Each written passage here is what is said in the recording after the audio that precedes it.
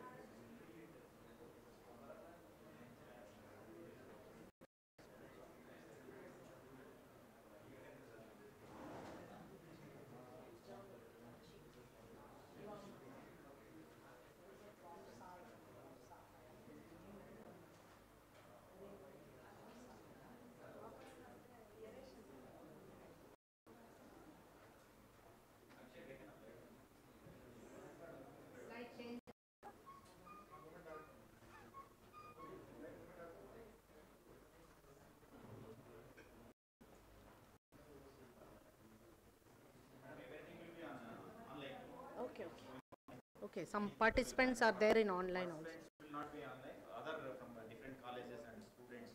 Okay. Some IIT group Okay. Okay. Good. No, they will be doing uh, lively live. It will be going.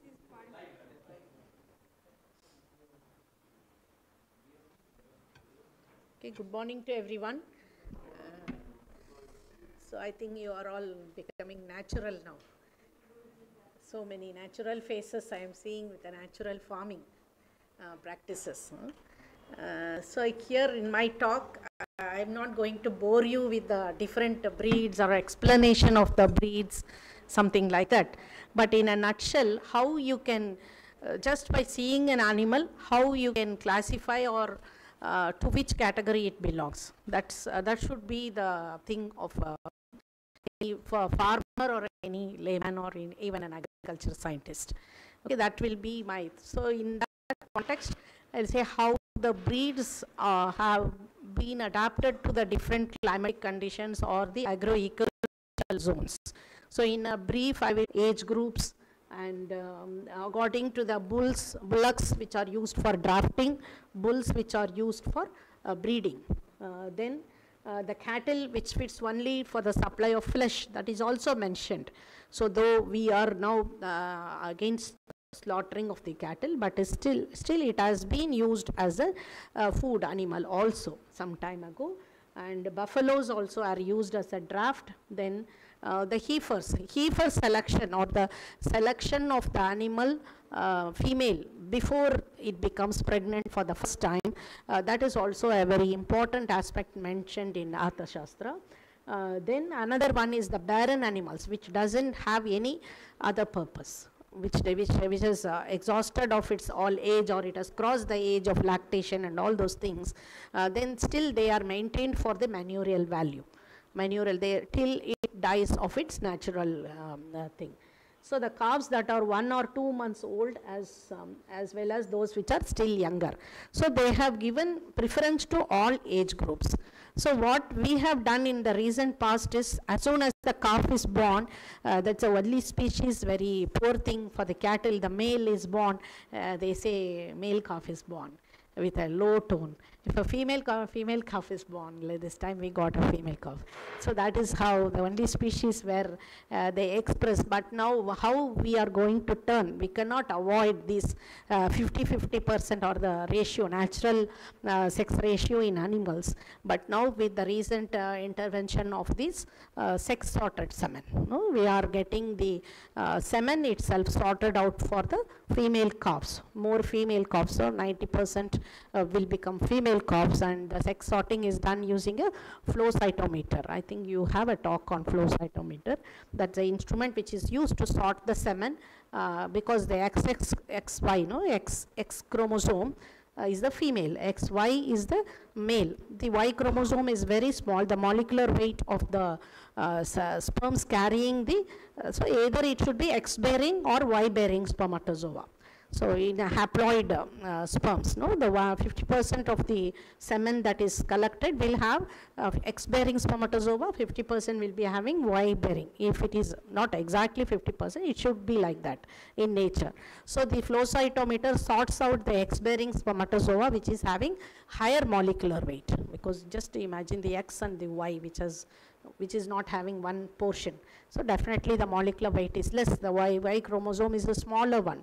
So the molecular weight is less. Based on that methodology, the X bearing are all separated and that becomes the uh, female. In Western countries, they use the Y bearing spermatozoa for uh, the beef production because they want a larger size animal which gives uh, uh, the muscles. So they sort the semen for getting uh, beef producing animals, Y sorted semen. And so we are using this X sorted semen. Now it has come for almost uh, many breeds. It's available um, now officially also. We have started using in the breeding program. So that is where uh, the advancement. But whatever it is, uh, in the Shastras also it is mentioned that you have to have a category of these animals according to their age groups, according to their uh, physical structures. So if you say globally, there are more than 7,000 uh, domestic livestock breeds, including all the species. When I say livestock, it includes all the domestic animal, cattle, sheep, buffalo, uh, and goats. Hmm. Uh, then the regional breeds, so different uh, continental breeds. Different continents have their breeds and there are some 500 transboundary breeds means uh, which are sharing between uh, two countries, two regions. Then international transboundary like uh, China and Asia, then uh, like that neighboring uh, European and China, like that and the border regions because the animal cannot distinguish whether it is Andhra or Karnataka. So there will be a breed which is shared between uh, Tamil Nadu and Karnataka, Karnataka and Andhra, Kerala, Karnataka, like that.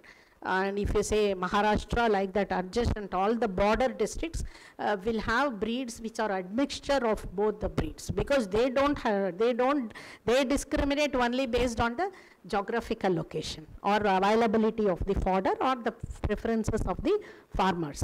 So naturally they don't have a border, that's why there is a trans boundary. So this uh, trans, um, about the, for the past 50 years, 1,500 mammalian species have been lost and cannot be replaced. So what has happened? This uh, lost, major, major reason uh, can be with the intervention of the human and also some due to natural.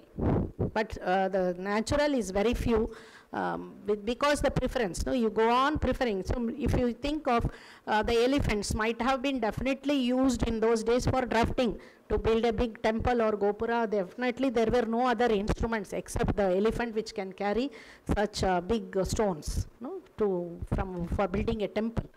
So now we are not finding so many number of elephants because we are, we are using other methods. So definitely man intervention is there, uh, like not preferring a particular species. So this trans uh, border migration of important breeds due to economic reasons um, and biotic factors like climate change, parasitism and lineage. So what happens in mass attack of a um, particular disease, or full herd has, has been disappeared or they get diluted with other breeds other whatever is available it will try to mate within that species so these are all uh, some of the reasons and uh, uh, you know that I think in your um, agronomy courses you would have studied about how the people uh, started the agriculture or they started living in one place. Before that they were nomadic. So along with them the animals also will move. Whatever animals they want they have moved. So even now we can say that for the past 50, 60 years uh, we are using European breed is it not HF or the Jersey semen? Uh, everywhere interior of the village you can see the Jersey or the HF. It is again a by migration of a breed, transboundary breed due to the policy decisions. Due to the, because the government has uh, introduced that like any other uh, crop or new variety you can see the, what is that? I frequently come across that happy fruit or the red color fruit which is, huh? Ah, dragon fruit. So that has come from the desert area. Now you can see in every part. So that is also a migration of a one, uh, one new variety which has been introduced and now it will start existing here. Likewise, the animals have also migrated and they have got settled, settled in one place. Now, which is original, which is duplicate. When, when we conduct a, farmers training, when we ask uh, our younger generation may not be knowing HF and Jersey is from another country at all. Because they are, their parents have also seen, as soon as they are born, they have seen HF and Jersey. Because it is there for the past 70 years. So they, when I ask uh, which is uh, mention uh, a native breed, they will write HF in our questionnaire. Because uh, obviously what they are writing is correct because they have not seen the other breeds. Hmm. So this uh, livestock diversity, why we need to have this diverse, diverse uh, nature? Definitely it nourishes the soil. It nourishes the soil, as I said, it eats the grass and it excretes the dung, which converts, uh, it is convert, converted into a uh, manure or which enriches the soil. I am not going to deep into this aspect how, how you are going to, for what purpose, why we are telling uh, we need to conserve the local breeds or the desi breeds, whatever the title they have given. Uh, for me, food animal, one is for food, milk, meat and egg.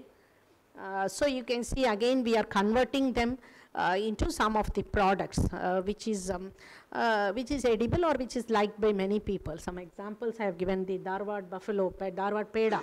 I think you would have you would have tasted that the speciality of the Dharwad region, the peda from the buffalo milk. Uh, then the horses and uh, the mules or the donkeys which are used for transport. Uh, then the companion animals, definitely the companion animals have also evolved through, uh, evolved through because of the preference of a particular breed for by a uh, human as whichever guards the uh, farm, whichever guards the houses or it just gives psychological comfort. Then the non-food, non-food products like the wool, animal fibers, skins, bones, horns, like that. Uh, so these are the things and uh, even the smaller species, smaller species are kept in the uh, kitchen garden, even the poultry or the duck or something. Every house in Kerala you can see they have some ducks uh, uh, because they have ponds. So uh, even in uh, some larger uh, uh, mm, establishment they will have the uh, other species of uh, poultry also. Uh, they also contribute definitely, they eat on the pests, insect pests or the uh, harmful um, ones which are going to harm the roots. They peck and eat on that material. That is how they create a, a diverse or a balance between the uh, animal and the uh, soil. Okay. So now let us uh, come to my main topic. When we talk of a breed, what is uh, called as a breed? And I will be elaborating uh, on this aspect in a wholesome way. Uh, this sub, uh, a breed is a subspecific group of a livestock. So if I say cattle, cattle has some 500, 600 breeds uh, globally which are having definable and identifiable external characters. So you should be able to uh, say the just by seeing the horn of that animal and the horn of another animal, you should be able they are different breeds, which uh, which you didn't need any instrument at all. You just visualize and then you are able to tell, and uh, they will be able to visually appraise them and the same species which are existing in a geographical or a cultural separation. Uh, so in my talk, I have these first uh, few will be on the geographically how they are separated. The next I will tell about how the culturally or the community has participated in evolution of the uh, different breeds. Of those two aspects I will cover. So they should be phenotypically similar. So they should have external features in similar. They should have an origin of geographical origin from a separate place and sufficient number should be there. Then we call them as a breed and we have an agency, the National Bureau of Animal Genetic Resources uh, in uh, Karnal, uh, which is the sole authority to register the breeds. So every year they, uh, the uh, breed number is going on increasing as it gets registered. Okay, now when they started they had now some 30 breeds. Now there are 53 breeds registered.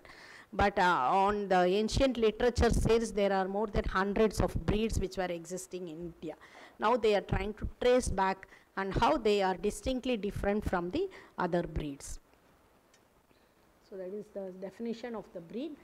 So these uh, native breeds definitely have a varied coat color and uh, they, they have the capacity to adjust to the um, uh, body, adjust their body temperature to according to the seasons because uh, we know the extremes up to 45 degrees it goes and then sometimes it comes even lesser than 12 in a particular place.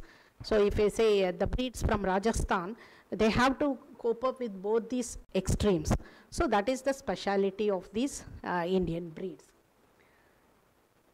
But this uh, may not affect the milk quality. The milk quality, uh, there are some uh, studies which says uh, the coat color has got uh, some relevance or the fiber length or the hair uh, diameter and the milk quantity and the quality there is there is very mild differences not on the chemical composition but only on the the fat and certain proteins which varies otherwise um, nourishment wise it is going to give the uh, same type of nourishment so if you just uh, see which is the point in this one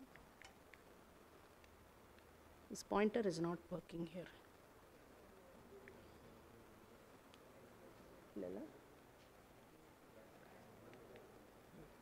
So let us see the population trend. So I have put the, um, just compared uh, the previous two census, that is the 19th and the 20th livestock census. Uh, what is the status of um, uh, these um, uh, s- different species? This pointer is not working, Shilpa. Pointer work ಆಗ್ತಿಲ್ಲಲ್ಲ ಯಾಕೆಂದರೆ ಈ ಥರ number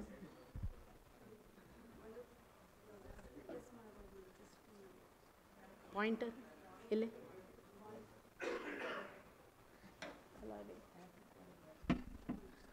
ಸ್ವಲ್ಪ ಯಾಕಂದರೆ ಇದು fonts ಬರ್ತಾ ಇದೆಯಾ ಹ್ಮ್, ಸರಿ ಓಕೆ ಈಗ first one shows the life stock will just skip that Karnataka you just see this only one ninety one ninety two point four nine has come down to one ninety point nine the red one is 20th livestock, so that number has gone ulta. So you can see a slight increase in the population from the 19th and the 20th census. So this red one is 20th livestock census for those who are sitting at the back. Uh, you can see the cattle population has increased some 2 million, and again this 1.8 million. Again, the sheep population has increased sufficiently. Uh, that means the preference of this is in the increasing trend. Preference of sheep is in the increasing trend. Likewise, the goat also, Uh, sizable number, that is about um, uh, 14 and 10%. You can see the sheep and goat are uh, on the increasing trend, whereas the pig is the decreasing trend. So this is the same with other our Karnataka also. You can try to do this. This data is available. The population in your state, you can just check how the population has changed over the years. Okay. Then just if we see the trend, Uh, if you go back and see the only, I've taken only the cattle as an example here. Uh, that is 17, 18, 19 and 20th. So this, um, see the red one is the indigenous, pure native breeds. What we are talking of the natural farming system, we have to have the native breeds. Uh, it is in the decreasing trend, okay? And whereas the total cattle is increasing, or the, uh, this blue one is the exotic crossbred, that is again increasing. So that means to say this portion is, uh, or this portion is affected by this. That is because the indigenous, the total population has not changed much. Okay, that this 190, uh, 185 increased and then 199. See in the 2007 it has grown, but then it is almost same. Whereas uh, the indigenous one, red one has decreased and this has increased. That means the crossbreeds are trying to invade over the presence of the indigenous breeds. Crossbreed population is going on increasing and the pure breed native is going on decreasing. So now the challenge uh, is we need, we need more of this. If we are going to say that I should have uh, the dung or um, urine from a native cow for natural farming system, definitely this population should increase or the preference of people keeping this should increase. So what and all we have to do because it doesn't actually have any um, cost or expenditure. The farmer needn't spend much on maintaining an indigenous breed. Whereas here he needs to spend, spend more on maintaining a crossbred. So that is the only pinch point. So I used to say to some farmers, you have crossbred because you need to have money. They need money to sell milk and we also need money living in the cities. We need milk, no? Or else milk will reduce very much, milk production. So uh, you have, uh, along with that, you have some two, three native cows also. That's how, because it is not going to cost on you. It's not an expenditure. Only space you have to provide for them. Whatever waste you are going to feed is going to feed. It's not going to ask any additional concentrates additional investment on feeding. See the major any livestock husbandry, the major investment or 70% of the investment goes on goes to feeding. Even in our house, if you say a monthly budget, majority goes to our food only. You all agree, I think, all of you are family people. Our budget goes majority, not for the other things, 70%. Animals also like the 70% investment goes for food, feeding only. So there if the indigenous livestock are going to uh, ask for lesser feed only, because it is easily maintained and they are uh, having the natural disease resistant power, definitely it is, we can convince the farmer to have along with three, four crossbred, two or three native animals for preparing the Jivamrita, Bijamrita, all those things. Only thing they need a space, you need a separate arrangement to collect their dung and urine. Otherwise, they don't ask for anything much. Mm, So that is how we should see in the uh, 21st life. I think the, next year they will be doing the census. We should see some change uh, in the trend of the indigenous breed because this was in 2019. So another five years once the census are conducted. So these are the, the 53 breeds. 53 breeds, now they are telling there should be hundreds of breeds, hundreds or more breeds in our country as per the ancient literatures. So just I have put this uh, clumsily uh, to show that the wealth of our nation. So we should be really proud of this. So let us see how these 53 are classified um, and how we can identify. All 53 to remember is definitely an, uh, a big task, okay? Uh, so this, uh, how you are going to identify, you see, uh, like that, that is one species I showed the big picture. Uh, like that you say um, for buffaloes, there are more than 16 breeds, I think 16, 17 breeds. Uh, then for sheep and goats, there are more than 60 breeds. 60 breeds registered in uh, sheep and goat and then uh, pig also. Now we are adding uh, ducks as well as the geese and the uh, dogs are also added to the list. NBAGR has taken the responsibility of registering even the uh, dog breeds.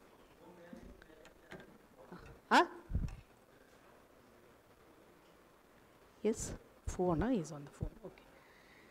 So you have most productive animals like the Murrah buffaloes, okay, and uh, well adapted breeds. See these breeds, no, Gir, Tharparkar, Sahiwal or Red Sindhi. You know, as the name indicates, Gir is from Gujarat. This Tar Parker, Thar desert, which can cross the desert. Tar Parker, no, Tharparkar. They can cross the desert, walk in the desert.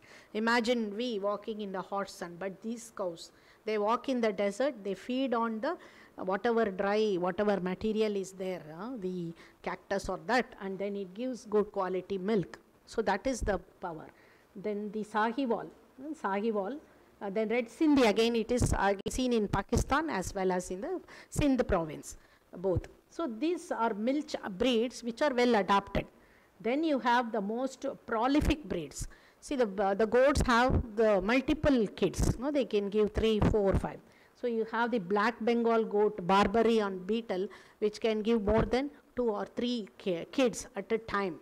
At a time. That is, um, uh, which is not seen in other goat breeds of Western countries. It is very unique to our Indian countries. Then good carpet wool breeds. The carpet wool uh, though we don't have, we don't uh, need also the fine wool unless we want to uh, uh, give it to other countries, get some export and get some uh, money out of it. We don't need uh, the fine wool for our type of climate, whereas we need a carpet, carpet wool to put uh, on the floor during the uh, winter season. So we have this uh, Magra carpet wool breed, and then the highly prolific breed, this Garole. I think. Um, you all have heard of this uh, Nari. Huh? Have you heard of this Nari Swarna breed? A, a breed which is a synthetic breed evolved from this Garole, which is having, a, uh, which was crossed. Uh, this Garole is crossed with a Deccani breed. Deccani breed of Maharashtra and uh, they have evolved a breed called Nari Swarna. The Nari group, uh, the um, animal research institute. It's a private uh, institution who does research on this, where they have done uh, and evolved a new breed called as uh, Nari, that is the initial N-A-R-I, which is uh, having the ability to give twins 25 percent. 25% of the population you can get uh, twins. Uh, so, but in India we have only the Garole.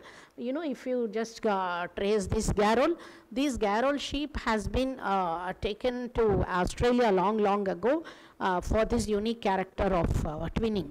So they have crossed uh, with those breeds which were existing in Australia and they were able to get the twinning. So that is how the same persons, Fulton uh, Nariswa people, they were working in that Australian farms and they have come back to India. They have set up their lab and they evolved a new breed, Nariswarna, and uh, I think it was supplied in our Karnataka. I don't know about Andhra and other state. Uh, in Karnataka, they have uh, uh, supplied that to farmers also uh, to get a twin because sheep normally gives only one uh, lamb at a time. So this, uh, so we have some, some, some many other. The list goes on. What are the specialities of our native breeds? So these type of uh, extremes are there in our breed, which are of beneficial importance. So how we are going to bring back, or whether these uh, exotic breeds are going to suppress the native breeds. So let us see how the breeds are classified. See, normal classification we do with, uh, with a utility uh, like based on uh, draft purpose, draft breed, dairy breed and dual purpose breed. That is the normal uh, classification. Now I am going to give you a different perspective of the classification uh, based on the phenotypic characters so that we can easily remember them and also guess for what purpose it can be used, whether it can be dual or for the milch purpose and uh, the geographical origin and based on the uh, age groups. So these are the normal methods of classification. So let us see the first group. The first group is called as uh, the lyre horn. Lyre is a bird, uh, bird in Australia, which has a tail which is having uh, a curve like this. So the lyre bird's tail uh, has a curve like this. You can see here. So that is lyre horn, and they are grey cattle with a wide forehead. Uh, so now you have to, like a beauty pageant, what and all we see to describe a person as beauty. Now let us describe our cows how they are beautiful by seeing their forehead and uh, the orbital arches. Hmm. It's not working. Okay, this orbital arches is this. That is over the eye. Uh, you can see a fold of skin uh, in gear on uh, many of the native bleeds, this Tharparkar and all. It is just giving a protection. It is doing something. So this one, this portion, you can see in all these breeds, it is giving a protection to the eyes during the hot seasons, during the, when they cross, when they walk in the deserts. And uh, they are um, thin or flat dished face. So this portion, you, uh, you say, uh, if it is having a dish, like uh, a curve-like thing, it is a dished face, huh? uh, or a flat one, like this. So this Kenkatha, Kherigarh, Kankrej, Tharparkar, uh, Malvi, all are from the desert regions, desert uh, regions of Rajasthan, which are having the particular character. So that is, you just see the horn, you just see the fore- forehead, you just see the presence the um, uh, these um, orbital arches. Then you can guess this is from that particular region, which belongs to group 1.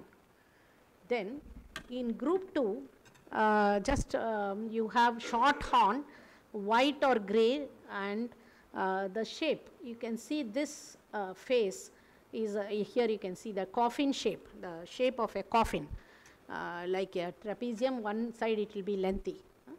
So that is called as coffin shape, and a convex face. You can appreciate in this breed, which is having a bulge. Hmm? uh, Ongole, Haryana, Mewati and Gaolao. Uh, these all come in the group 2 category, group 2 category, okay. Um, coffin shaped skull. Uh, and it, it is a very big group, very big group where majority uh, the Krishna Valley, Nagori, Rathi, Bachaur. That is, you come down uh, south or the middle part of India, uh, you have most of these uh, breeds. Uh, and this breed, Krishna Valley, it's almost, it, it come to the verge of extinction. Less than 1000 it is there. Now some efforts have been put to increase its number because it, it resembles the Khillar breed so people have, um, like the uh, doctors or whoever, uh, preference for going for Khillar and they have inseminated Krishna Valley with the Khillar 7, so they got diluted. So now that is, uh, these are shorter than the Khillar, Khillar breeds, which is useful, but this is also a good uh, drafting breed, uh, but also has a milk, uh, milk little quantity of milk. So that is how it is, um, it has been trying to re re rescue this particular breed. Then this again, uh, this is about from the north we came to the middle part of India. Now the western part, uh, you have the Gir and the Red Sindhi uh, towards the mm, Punjab and uh, towards Gujarat. So these are having heavy dewlap. You can see this portion is the dewlap, heavy dewlap and the sheath. Uh, near the, the uh, urinary tract, you see the sheath. And this, uh, see the loose skin or the bigger um, skin area, it increases the skin area, so also the sweat glands. A lot of sweat glands or the number of sweat glands over the body surface is increased so that it can overcome the heat. And also, they may be red in color or white, unlike the previous group which was more uh, of gray in color. They are having red and red spots also, dotted ones also you can see. And the horns are a little curled, and this it is not there. Uh, they are called and uh, they are on the lateral. Unlike in the previous one where the horns were on the top of the forehead, now here they are seen on the sides, on the sides. So that is uh, one difference and that is why we find the forehead to be more bulged uh, in these breeds. That is uh, group 3. Uh, continued with that, uh, the, these are all uh, bilge purpose breeds, Sahiwal, Dangi, Deoni and Nimari. So you can see the red spots as well as uh, the horns erupting on the sides. This must be a aged cow, so it is grown lengthy. And uh, the sheath also. In all these you can see the dewlap as well as the sheath uh, were hanging. So which increases the bo- uh, body surface area. Okay. Then the group 4, group 4 is the one uh, which is uh, Amrit Mahal, Hallikar, Kangayam, Khillar and uh, this Bargur. And this Bargur alone will have this brown and white spots and in all these they have the shades of grey, shades of brown or white, uh, shades of white like this. So they also have um, uh, the, they are compact animal with powerful quarters. That is they can walk, walk, walk. For 18 hours also they can do work. And uh, they have a tight sheath unlike the other one and a prominent forehead and the horns emerge from the pole. That is almost, uh, uh, you can see here, the, this portion is called as the pole on the skull. So from that the horns erupt. Very closely the horns erupt. So these are the, the different characters of the group 4. Okay? And most of them are very good draft animals and uh, these um, the next one is the group 5. So I think now you are able to recollect group 1, 2, 3, the major difference. huh? Uh, the group 5, which is a mixed type, it will have all colors. They are also used for minimum drafting. They are also used for milk, both dual purpose. And they have a hump and a slightly lyre shaped horn, uh, stump like horn. Unlike the previous one, which has a long horns, they have uh, stump like horns and uh, some will have hairs, more hairs also in the hilly tract. We can see that in this uh, Lakhimi, uh, Badri and Malnad Gidda, uh, the hairy breeds also, hairy vari- variants in that also. Uh, and also all mixture, admixture of different colors and they are short statured. That is group 5. And the group 6 is the Dhanni breed, uh, which are very huge breeds, uh, which is seen in the India-Pakistan border. Uh, they, uh, they are more in the uh, Pakistan side, but they are also seen, they- are called as the transboundary breeds, which is having very varied colors. Here again it is having varied color, but a very large, huge breed.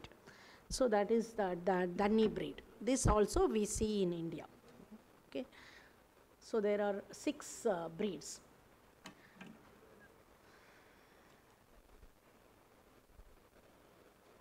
So why why these uh, breeds uh, are so this is about the breed, but we don't find uh, the sufficient number of these breeds, whatever uh, five groups, leave the six, the five groups, sufficient number in pure form.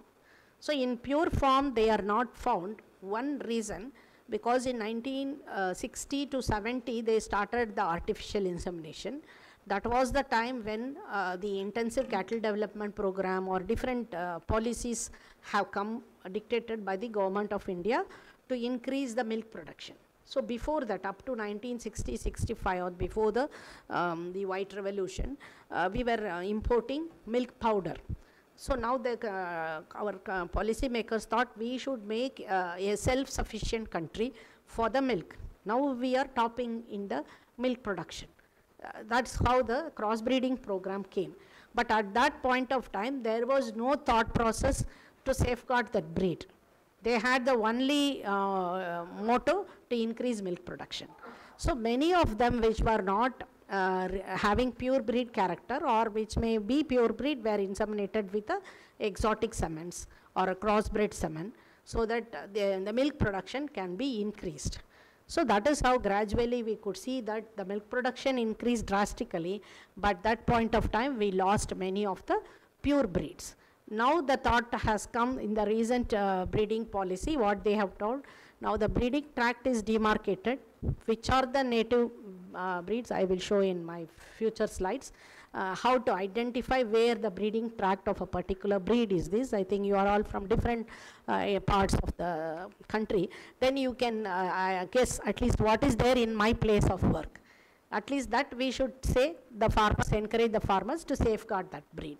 If everyone as an agriculture or animal husbandry scientist, if you are going to have that responsibility, definitely we can resurrect all the breeds because now the breed semen is available. All those 53 breed semen is available. Once we know this region is native of a particular breed, you make the farmers to motivate the farmers to have that pure breed only. Another 20, 30 years, we may have all in, in the breeding tag the pure form of that particular breed, which we have lost. We can definitely resurrect. So that is there with the hands of the grassroots level. Like you may be in a uh, university, but you will be training your agriculture uh, officers uh, from your region. So through them we can reach. Likewise, the veterinarians, we have doctors, we train them who are working in the field we, because they are the one who are going to uh, do the insemination there. So in your district you have. So that is in the breeding policy what they have. Wherever the breeding tract of a particular pure breed is there, the, do- the persons have to use that. They have given a target. If it is uh, like Khillar breeding tract, they will supply more Khillar and you have to document them and give how many Khillar semen you have inseminated. So like that in one year they will have more Khillar calves. Then in the next year again the daughters born uh, in two three years again if they are going to give a Khillar semen definitely in the third generation we will have another 20 25 years we will have all the pure breeds resurrected uh, that is only in the hands of us okay so what are, what are the reasons I am not, shall I explain this? Uh, so why, why this, uh, the breeds have reduced is because of the uh, loss of natural resources, where the grazing method practice has changed to intensive uh, method of rearing and the agricultural um, activity has expanded. So they, they and uh, monocropping, where uh, if it is a pa- paddy, mm, in those days they, they might have paddy or leguminous crop and all those. No, in my grandmother's place they used to put um, these, um, uh, what is black gram. After paddy they put uh, black gram. After harvesting they will put bende. Then again only, uh, the next season only the paddy will come. So, but now it is not done so. Maybe again, it is again the policy dictated, whatever that we are doing. Uh, that's the thing. Then the mechanization, the dependency of the animals for transport has sizably reduced. So that is one reason where we have lost many of the preferences have gone or the animal shade available has been occupied by the crossbred animals. So there is no space for them to keep. So they reduce the number. There is no need for a draft animal. There is no uh, bullock cart at all in their house. Then why they need? They may use a tractor or some other mode of transportation, lorry or a truck.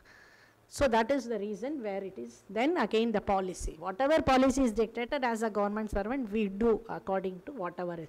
Because the targets are fixed for the agriculture officer or a veterinary officer. This much you have to do, this much semen you have to do, they would do that. Now that time, even when I started my practice in 1984, we used to catch hold of all the native breeds and castrate. In health camps, only castration camp was there. Castration camp itself was a major thing. And if one crossbred calf is born that will be appreciated and those doctors will be rewarded the farmer will be rewarded because he maintains a crossbred calf now we have to start rewarding them for having a pure breed of native cow that is the uh, reverse. So every everything no the like the okay, every seen this that is global life uh, according to the livestock production system um,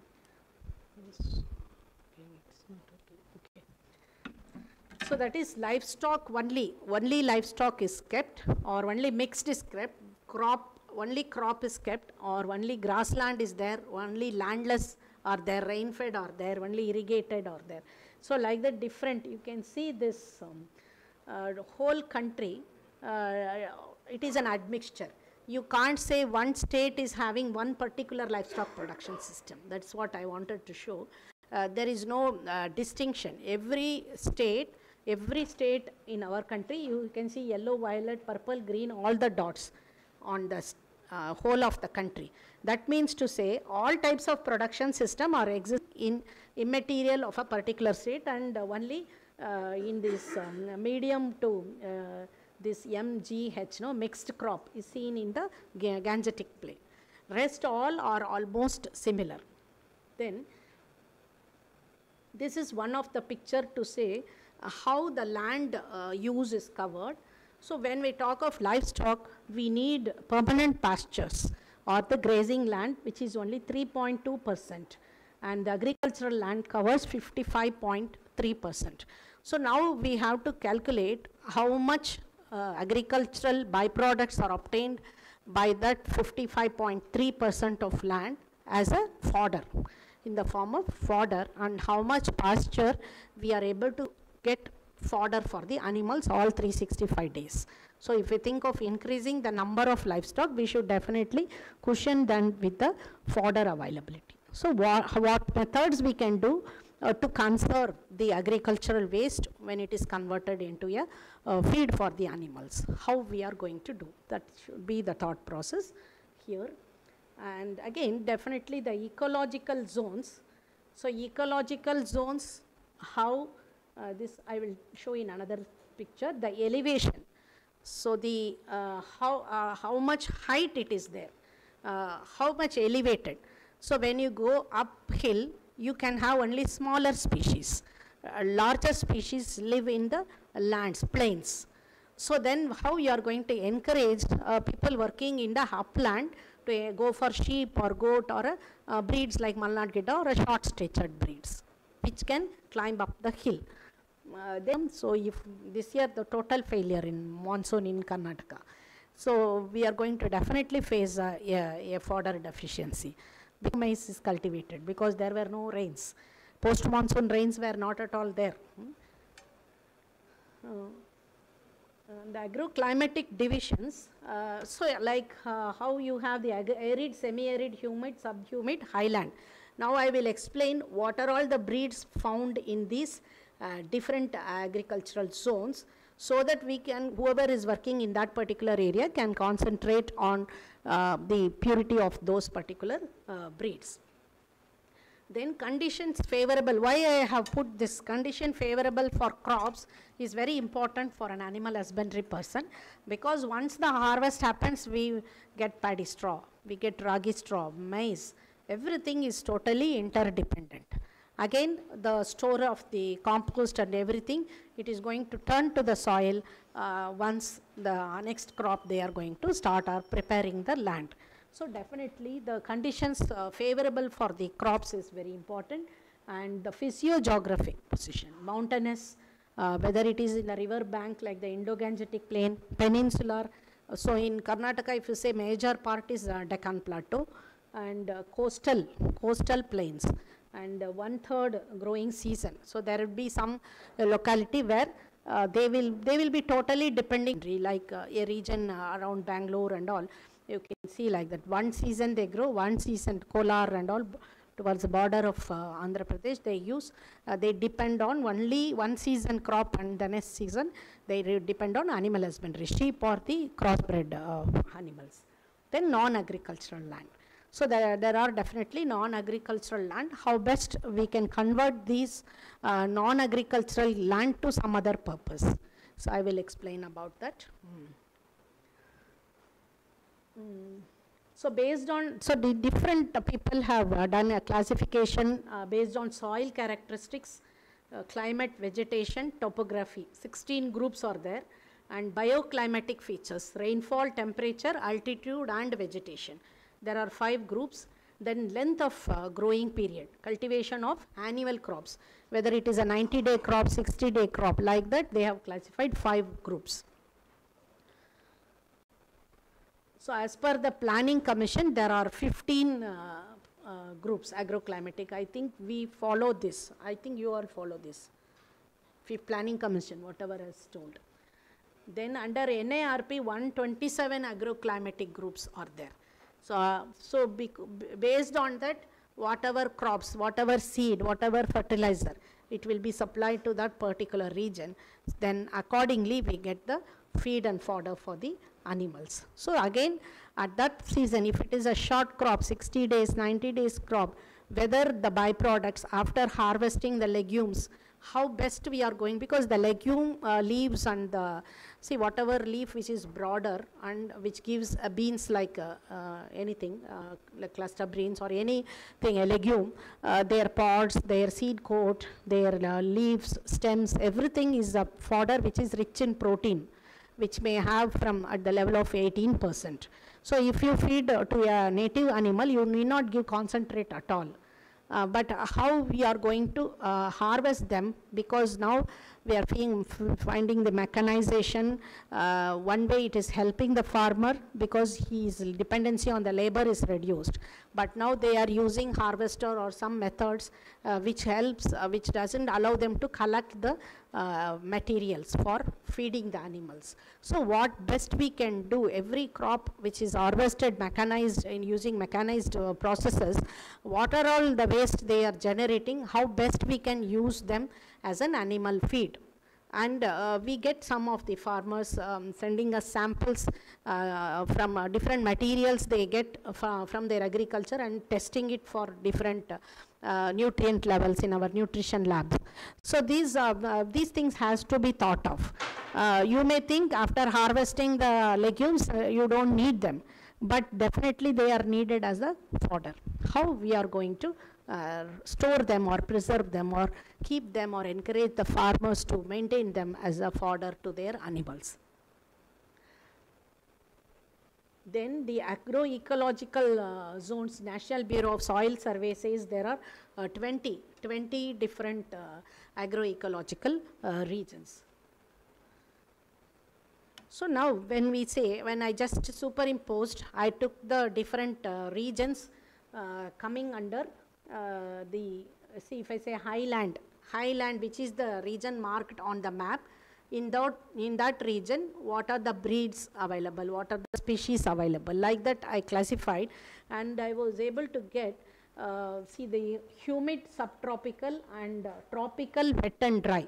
These are the two regions where you have more concentration of livestock husbandry or the cattle, sheep or the goat, um, the tall ones. The blue one uh, in this,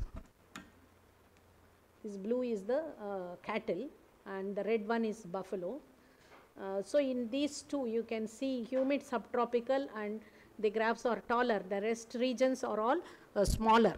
Uh, where the population is less and the density is less, whereas it is more in these two regions. So we have to concentrate on the breeds in these two regions so that more number of breeds are there in those regions. Then most indigenous uh, breeds, if you say most indigenous breeds, again they are distributed in the, this humid subtropical, tropical wet and semi-arid regions. So these uh, regions are uh, well adapted by these particular uh, breeds. That is number of breeds available in a particular region. The, names of the breeds uh, belonging to a particular region were counted and uh, it has been imposed on this graph. Hmm. So major are distributed in tropical wet dry region and semi-arid region which is in high and very high vulnerable zone. So if we see these two zones, they have done another one uh, for a climate uh, change uh, studies, which are all the regions which are vulnerable for the climate change. We found which are the regions uh, where the more cattle and livestock are there, those are the regions falling under the vulnerable region.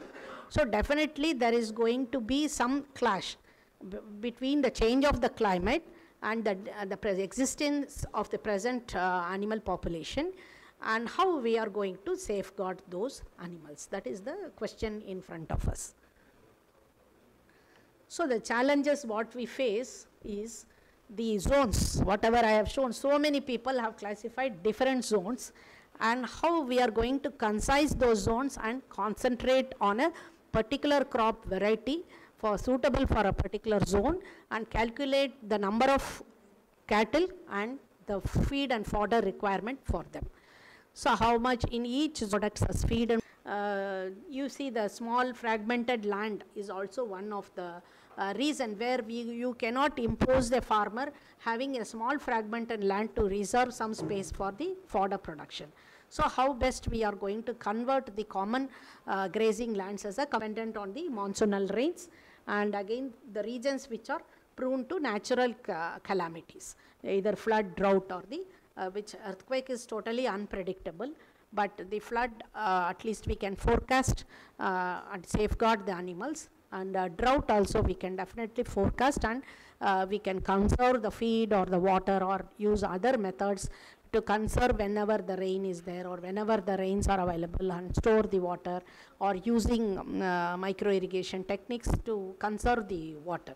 So these are the things where, but earthquake we cannot, uh, it is totally unpredictable, okay. So in 2016, uh, they have uh, published one study. If anybody interested, you can uh, read that. It will help you to uh, do some projects on those pro- on that. vi- that is India's 572 rural districts they have covered in that, and they have surveyed, and they have classified the vulnerable uh, regions. And uh, in that, the what are the criteria they have used? Three major criteria uh, for classifying them as vulnerable uh, lands, sensitivity, uh, the exposure, and then adaptive capacity. In that sensitivity, degraded land, annual rainfall, vulnerability to cyclone or drought. So they will just take the each and every village and they, this district, they have classified them according to that exposure maximum and minimum temperature, heat wave and cold wave. In that particular 20 years of period, how many times heat wave and cold wave have affected in that region and the uh, actual survey is done in that adaptive capacity. How many agriculturists are there, literacy, their gender gap, electrification and all those things. This uh, survey based on this they have classified the vulnerable uh, zones. So they, and uh, they, this is being again mapped, whatever the results they obtain has been uh, mapped.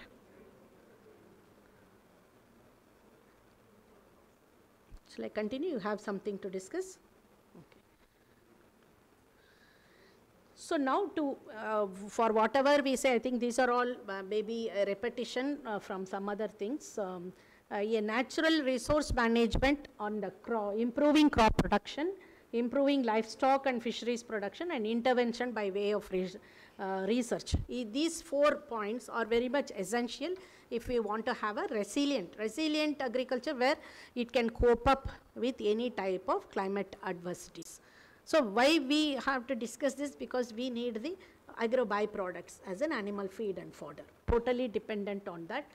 And um, uh, how we can uh, overcome this or how we can, these four things, improving cropland management, uh, then pasture and grazing, grazing land management.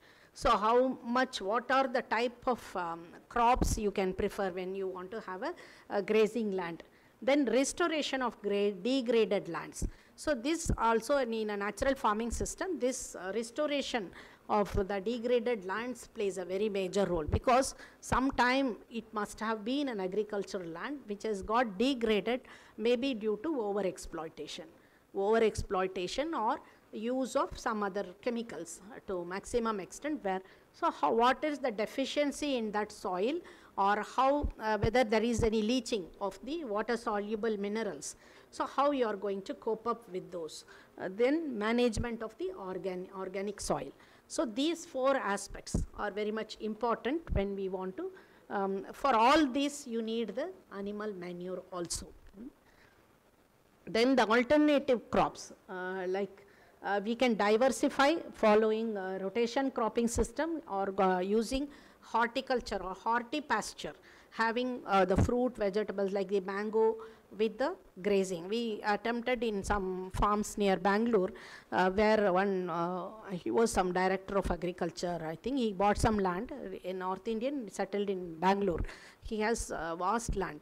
So what we did in his farm, mango, full of mango garden, we partitioned the whole um, uh, mango uh, garden into with fencing. And uh, we cultivated uh, we, we did a practical experiment in his farm because he was so cooperative because he was already an, a retired director of uh, uh, i think uh, icr uh, then we, uh, we partitioned the whole mango garden into small fencing. Inside that we grew different varieties of leguminous and uh, perennial uh, fodder grasses then uh, the uh, sheep were let in inside the mango garden to feed to graze uh, graze on that partition as a rotation grazing system. And definitely it worked. So earlier he used to get only revenue during the mango season.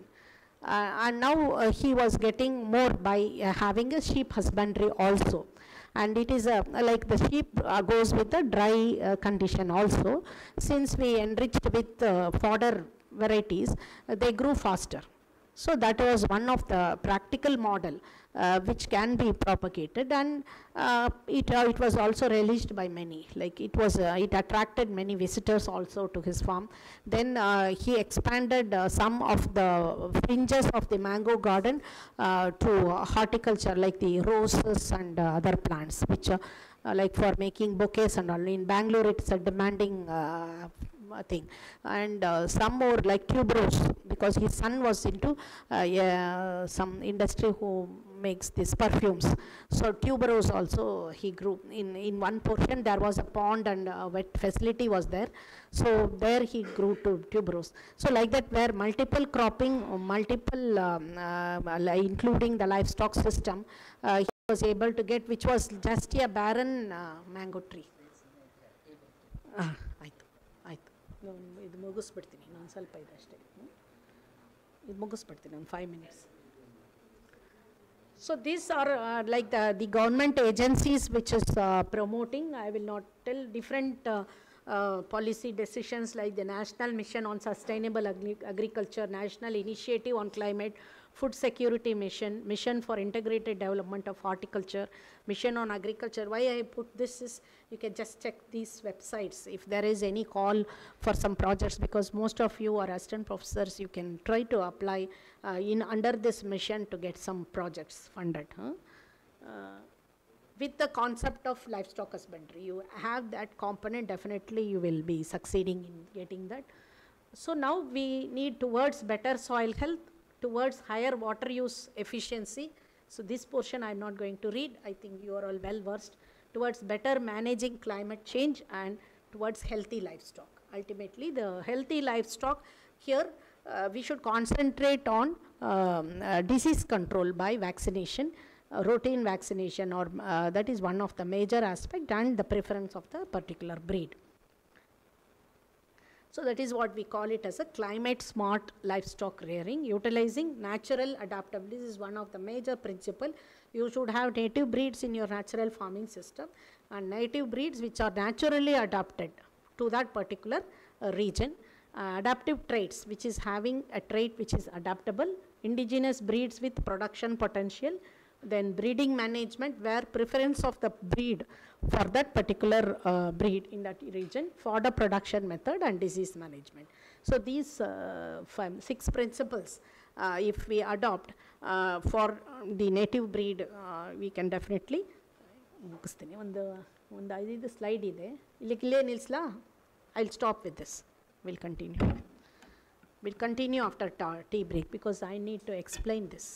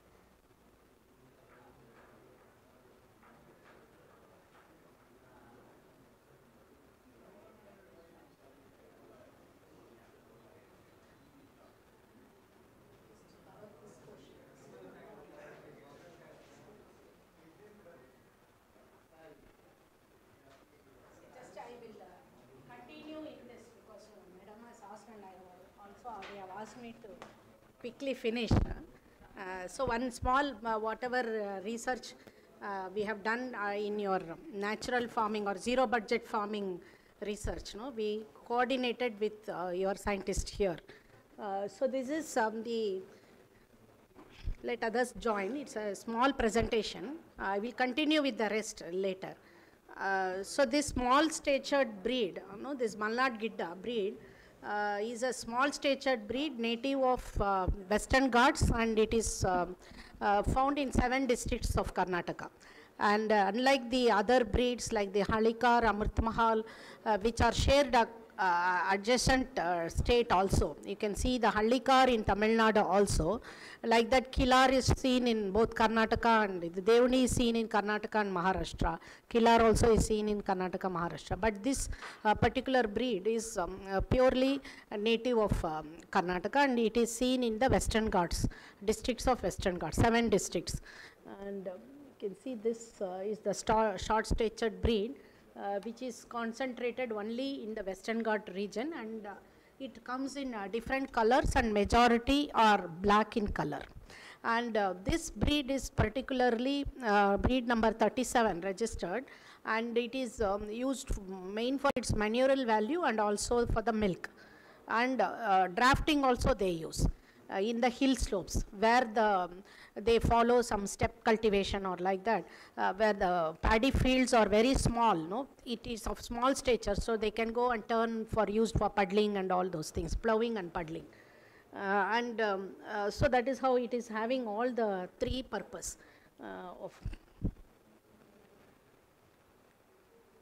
So these are the different color variants uh, we see in our, our college farm and uh, this is how the breeding tract just uh, some 50 60 kilometers uh, you go away from this city you can find these type of dense evergreen forest.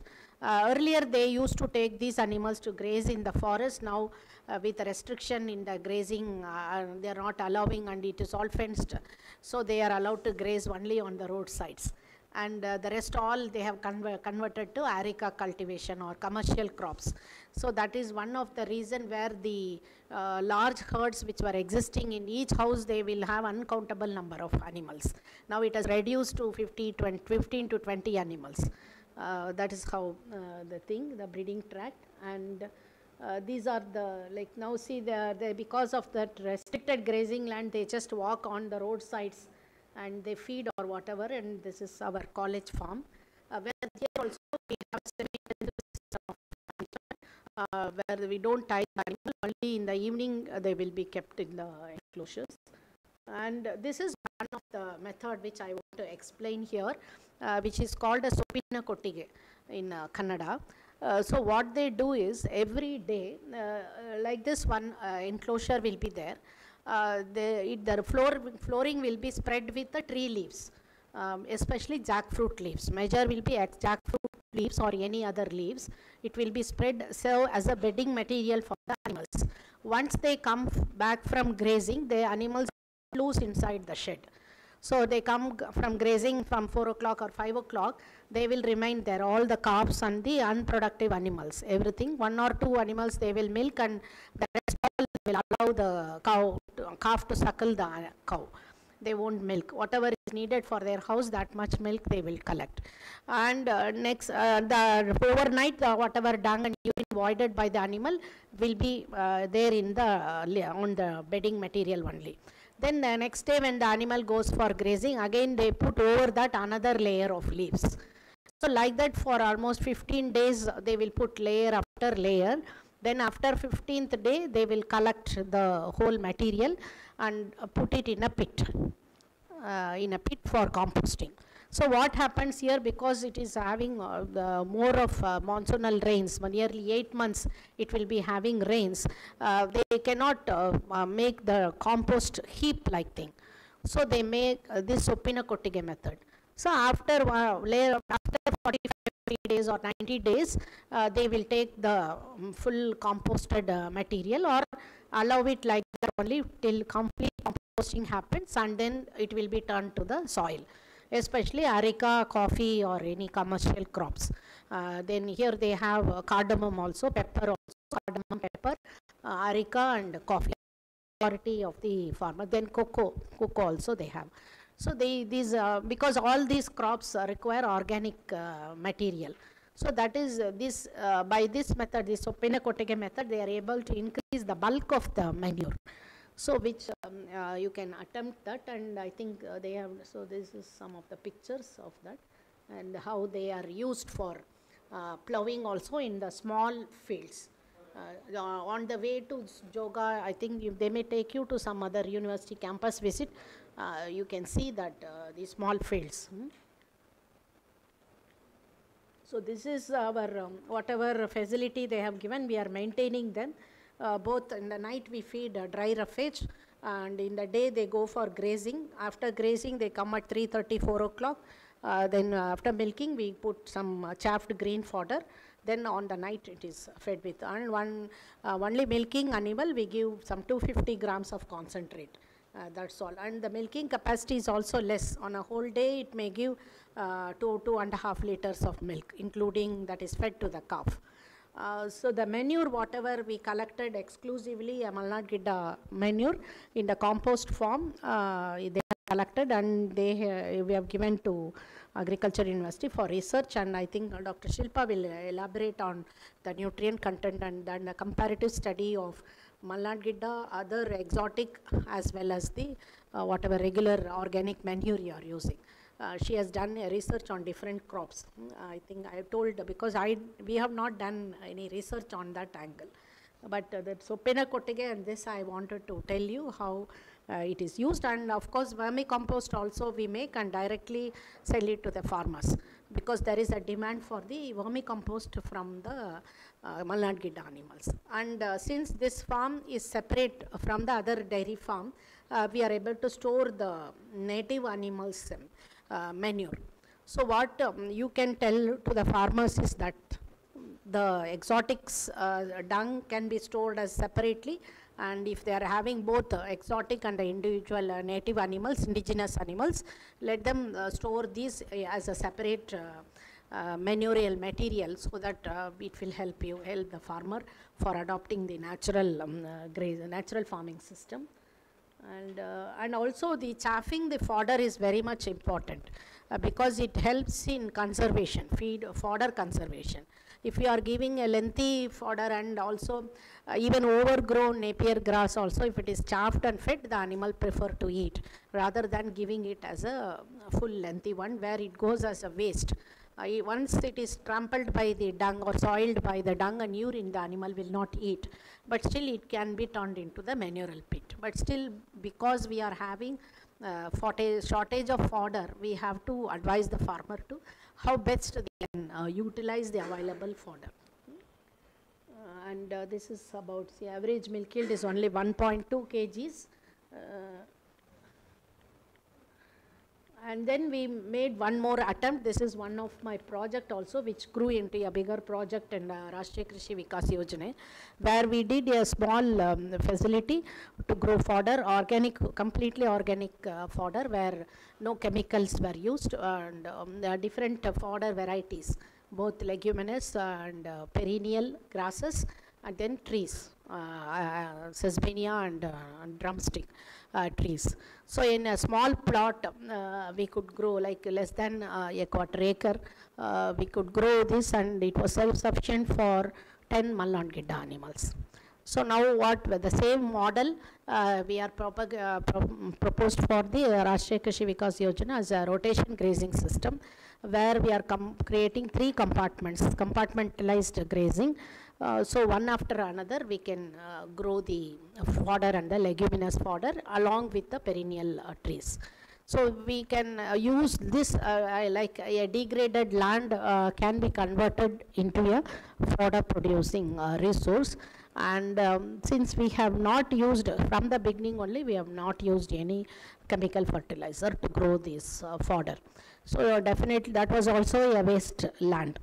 So you can definitely encourage the farmers to grow such uh, fodders uh, so that organically they can have an organic uh, milk or something testing and claim that it is an organic farm like that. So this is the some shed and uh, the fodder trees we have grown. And the calves, most of the calves now we have during the uh, this corona, we gave many of the calves and cows to the farmers to whom we have trained, and uh, they are all there. They are all using uh, for making Bijamrita, Jivamrita, and up to Mysore, uh, people have taken our animals. Ramnagar, Mysore, near Bangalore also, uh, they have taken the animals, and and now we are having uh, only 12 animals and also in that process we motivated the farmers to have uh, different um, uh, we did a practical demonstration of uh, preparation of these uh, milk products uh, from the Malnad Gidda alone so that uh, the taste differs and uh, pre- preference. So in that way we can uh, conserve the fodder the, the breed particular breed uh, because it is uh, it can be uh, sustained in this particular region with less investment and one of the Malnad Gidda Breeders uh, Association which we created from the uh, they grew into now FPO farmers producers organization. And they have registered and they are also going to get government support for that. Some uh, 300 people are members of that FPO uh, they are uh, doing Bijamrita, Jivamrita, Ghana Jivamrita also from this Malnad Whatever they have, five or six animals, they do it as a community uh, product. And also uh, they, they tra- tried this uh, um, whey butter, uh, whey candy. So, but you gram. So this uh, one model, uh, so that all through the year they will have three lactating household consumption. The four liters can be converted in kulfi and um, whey, uh, whey, whey and paneer and uh, mutually sale, uh, sale in the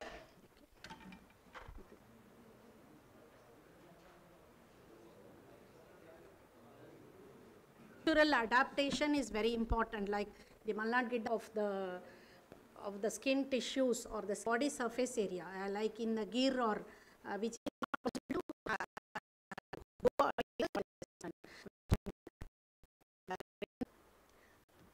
So adaptive traits, uh, so whether